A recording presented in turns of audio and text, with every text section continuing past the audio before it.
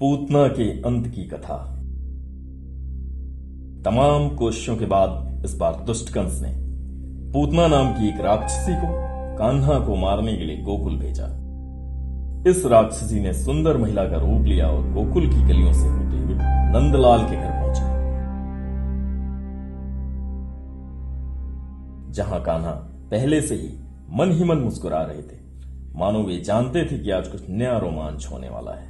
सुंदर स्त्री के रूप में आई राक्षसी पूतना ने श्री कृष्ण को अपनी गोद में उठाया और उन्हें स्तनपान कराने लगी। पूतना के स्तन से निकला हुआ दूध जहर के समान था, जो नवजात बच्चे की मृत्यु का कारण बन सकता था, लेकिन कान्हा तो हरि के रूप थे। वे राक्षसी की मनसा समझ चुके थे और उन्होंने दूध की जगह राक्षसी के प्राण खींच लिए पूतना दर्द से तड़पने लगी और कान्हा के साथ जंगल की ओर उड़ चली। परंतु अंततः पूतना ने प्राण त्याग दिए।